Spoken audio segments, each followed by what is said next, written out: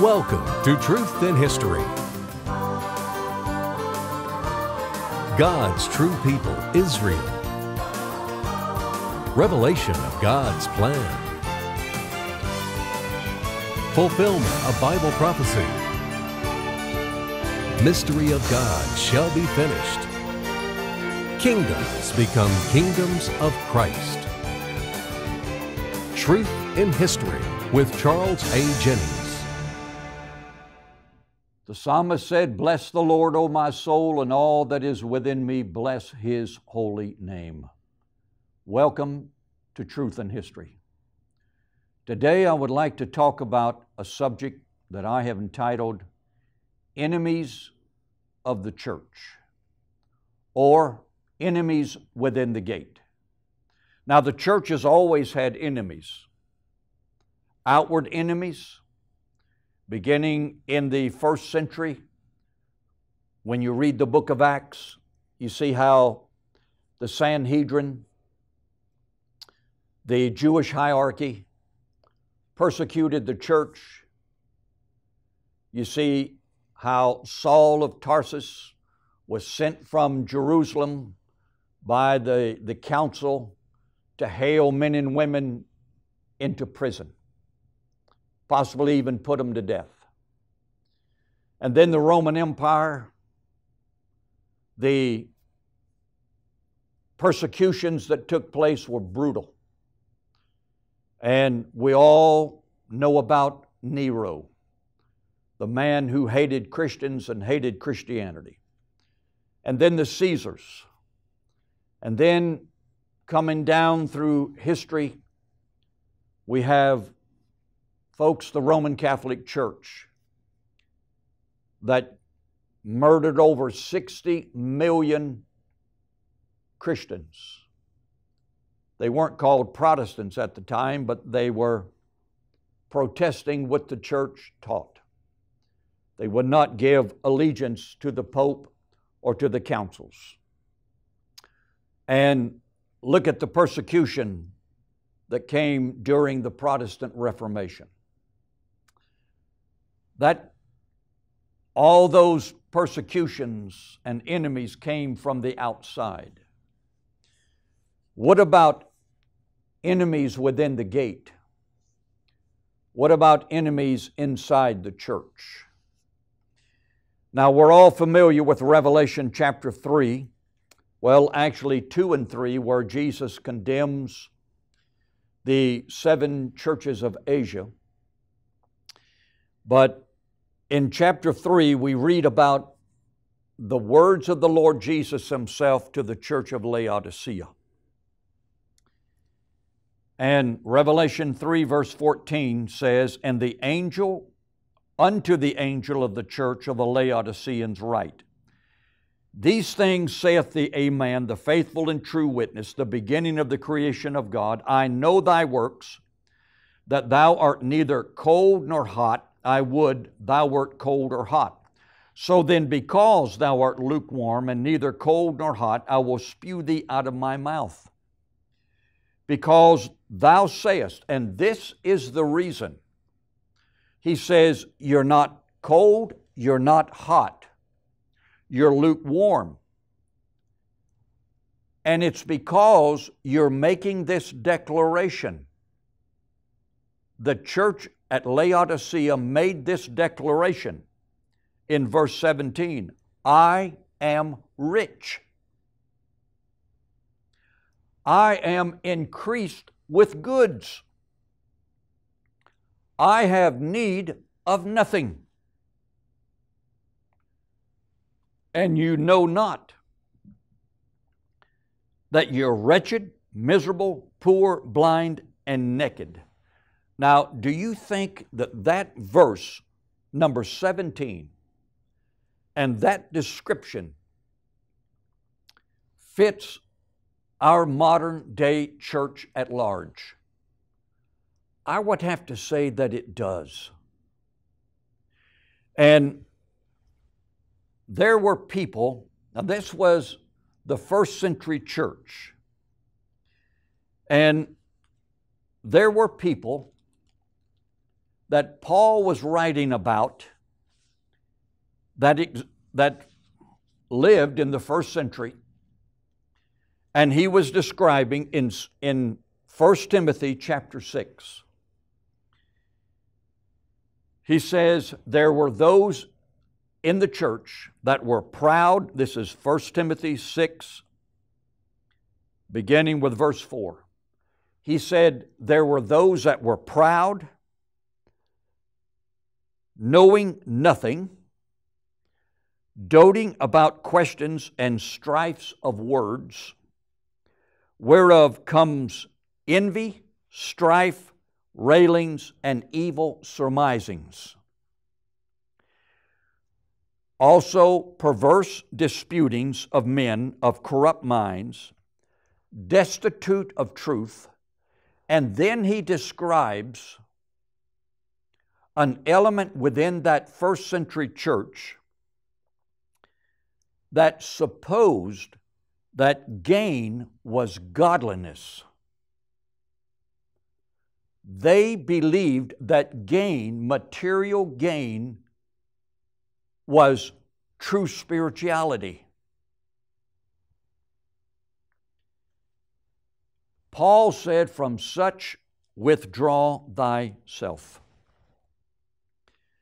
Now, in Revelation chapter 3, going back to our text, I would like to point out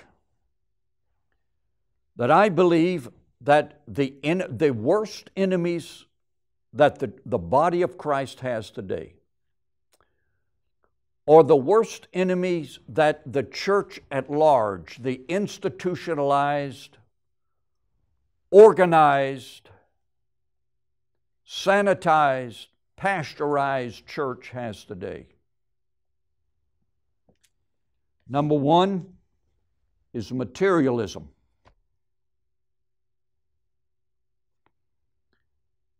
Jesus said in describing this church, he said, Because you proclaim that you are rich and increased with goods. I believe the second enemy is ignorance.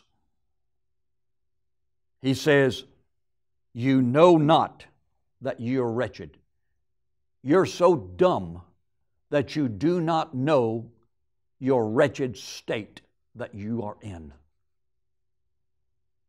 Number three is uncleanness. Uncleanness.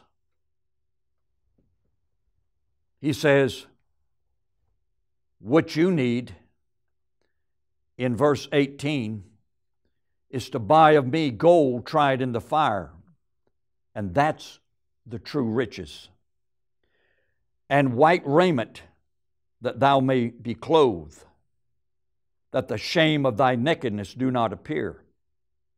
And anoint thine eyes with eye salve that you may see.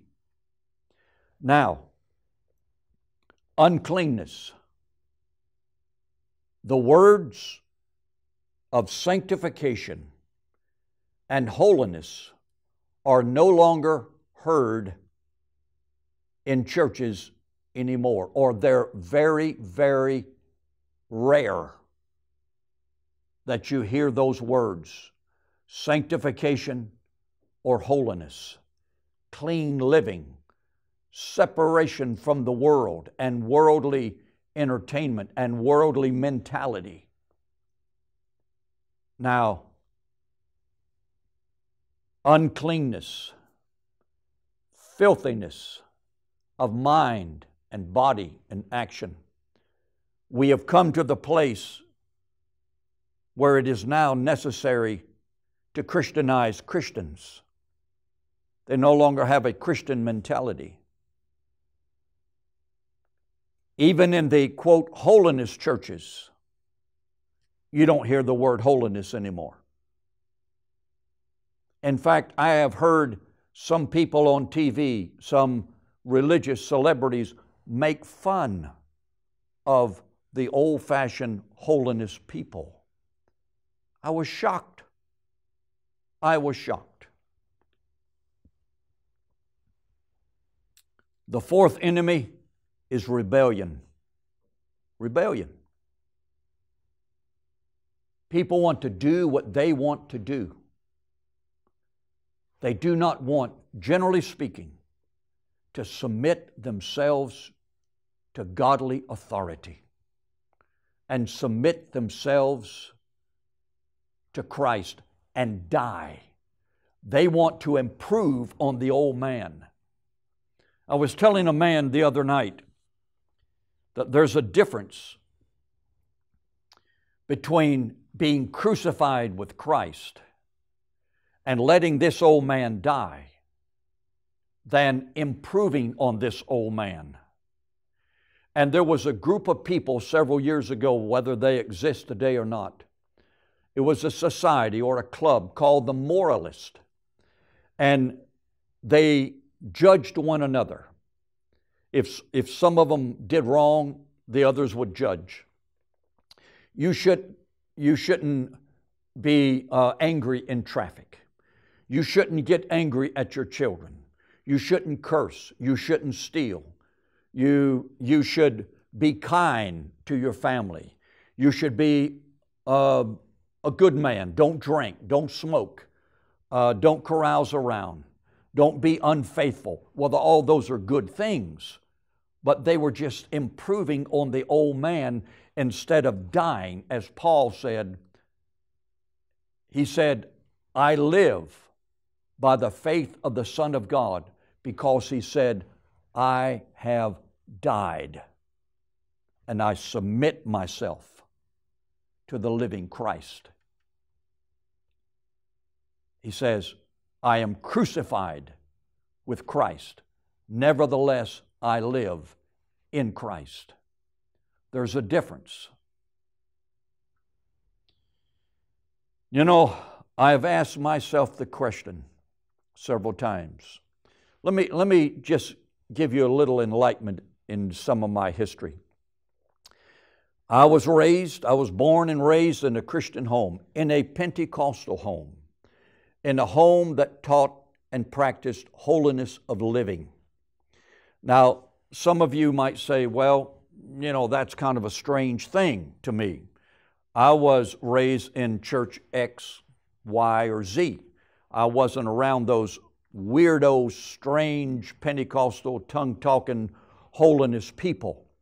Well, we weren't as strange as some people thought we were. But I was raised in a home where the Bible was revered, was and Christ was at the priority of our life and our our entertainment and our whole our whole life was church and worship and living right every day. And I was in what you might call the traditional classical Pentecostal church.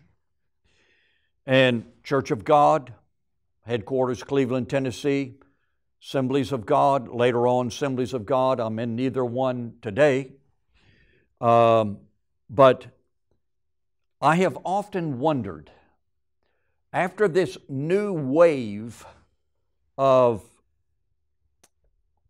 Pentecostalism came along, this modern wave of Pentecostalism that came in the 70s and 80s and has now come into this century, I have often wondered how Christian are we? really, how Christian are we? You know, the Protestant church has criticized the Roman church for all of its relics. Uh, on the west coast of California, some of those missions you can go in and in a box with a glass sides, you can look in there and see the bones of saints. And they have you know, apparitions and they have images and they have crosses and they have pictures and the 14 stations of the cross and all those things. We criticize those people, but yet Pente- more modern Pentecostalism has come up with its own images, with its own fetishes. And what is a fetish? Anything held in unreasonable devotion, a charm. It actually turns out to be sorcery. And I want to give you some of the things that has irked me through my life. Growing up in the tradi- traditional Pentecostal church, and then as that waned, and seeing this new wave of Pentecostalism, we come to what I call the Judas syndrome. The Judas syndrome, remember when the, the, when the woman anointed the feet of Jesus with that expensive ointment, Judas was angry. He said, Well, we could have sold that and given it to the poor. So um, we come up with the Judas syndrome. And the Judas syndrome is this to turn the anointing into cash under the pretense of helping the poor. That spirit has pervaded modern Pentecostalism today and maybe even beyond the bounds of Pentecostalism. So, therefore, in their collection of money, one of the fetishes is the Lord told me. The Lord told me as someone taking up the offering or pleading for money. Most likely, the Lord never told him anything. Number two is I feel the anointing that you should give a certain amount of money. I feel the anointing in the studio. Folks, personally myself, I seriously doubt it. They may have a sensation, they may have a feeling, but it's not necessarily the anointing. And they say that to put a sanction upon what they are doing, trying to collect money. Number three, the phrase that is often used is this is your season. In other words, you better give your money now, otherwise, you won't have the blessing because your season is going to run out. Number four, I am going to release a blessing. The preacher is going to release a blessing. Jesus is the blesser. But they're, what they're implying is that if you give to their ministry, as he's taken up that offering and pleading for money, that he will release a blessing to you. Folks, I get more out of watching The Lone Ranger and Tonto than some of these religious programs on television whose idea that gain is godliness. Number five, in a season like a Passover season, a Pentecost season, or a tabernacle season, give your Pentecost offering. Give your Passover offering because this time span is going to run out in a week or whatever. Number six, the Lord gives the preacher, he claims, the Lord gives him a certain amount for you to give. So the preacher says, I'm collecting this, minis- this money for my ministry, and the Lord told me that you're going to give, that you should give $500 or $599 or some amount. I seriously doubt it, folks. Number seven, a stock market promise of return. The Lord's going to return this unto you tenfold or fivefold or whatever it may be. A stock market type mentality. Number eight, they choose a magical date like several years ago. It was July the 7th of 07. That was a special day. You had to give on that day $777 or $77.70. Nothing, it's nothing more than marketing, shrouded in religious terms.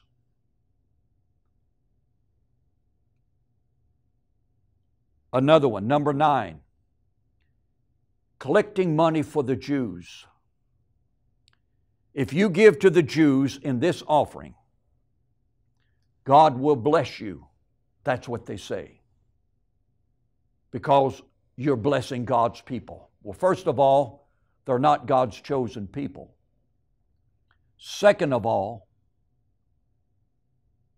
we are told that if you bless the enemies of the Lord, there's a curse upon you.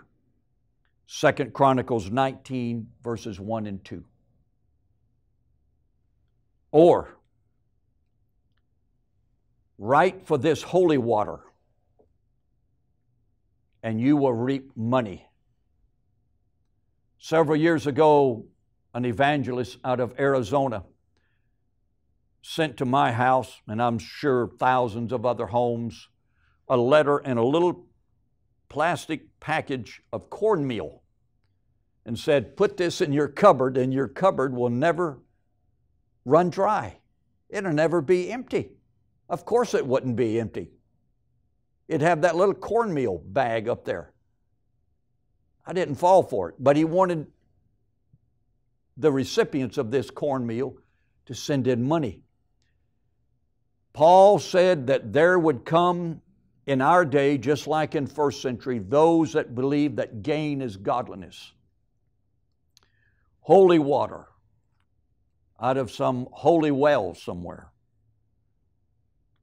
Or you will receive a special blessing if you come with me and you're baptized in the River Jordan.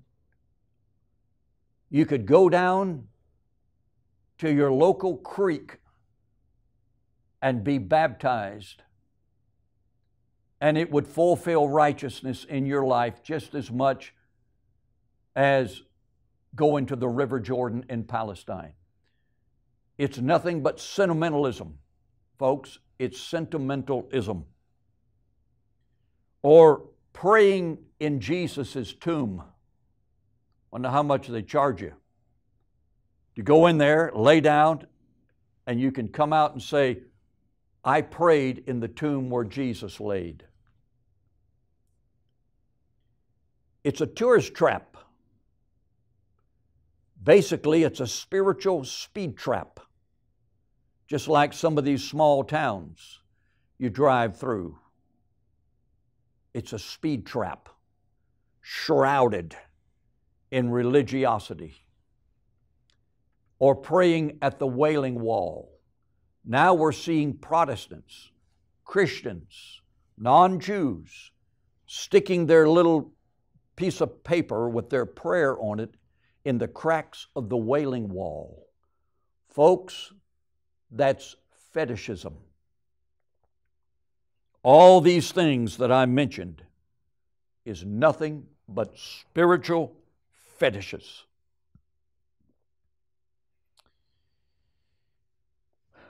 What we need in our day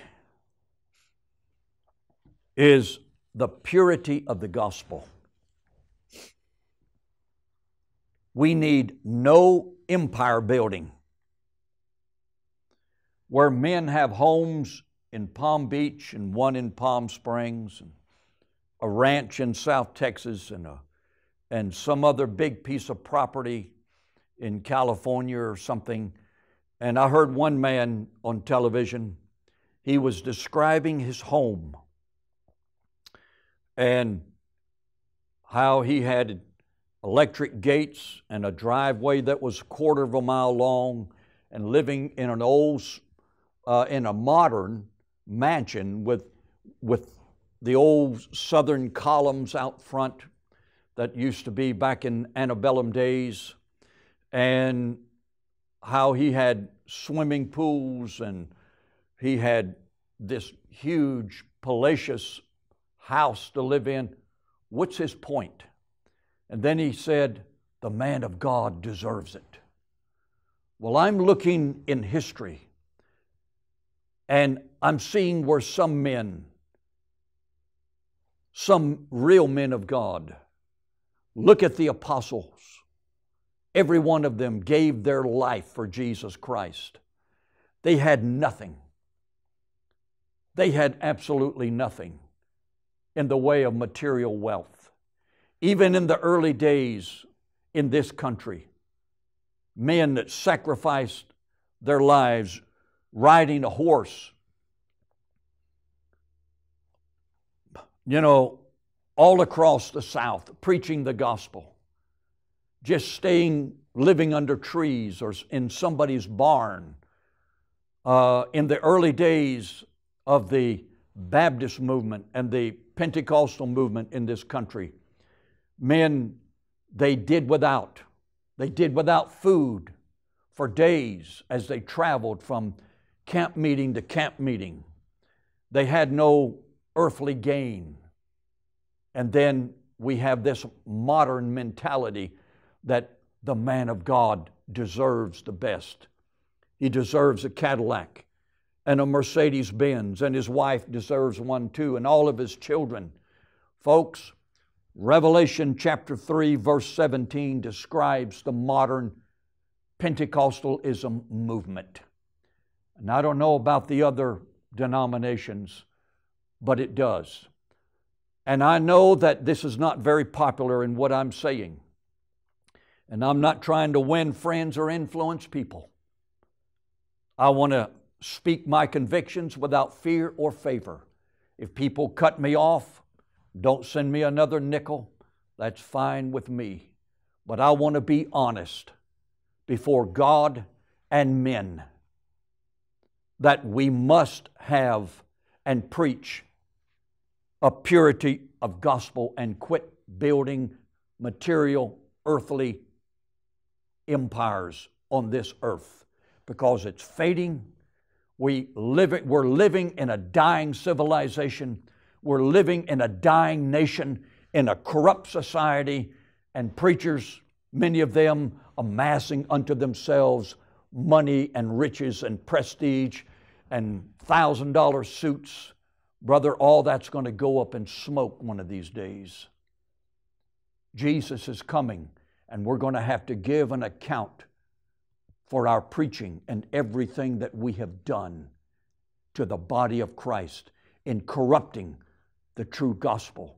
God give us men of God in our nation once again. For any material offered on this program or to be a part of this ministry, please write or call today. We thank you and may God bless you for your response to this end time ministry. Truth in History, where the Word of God is not bound.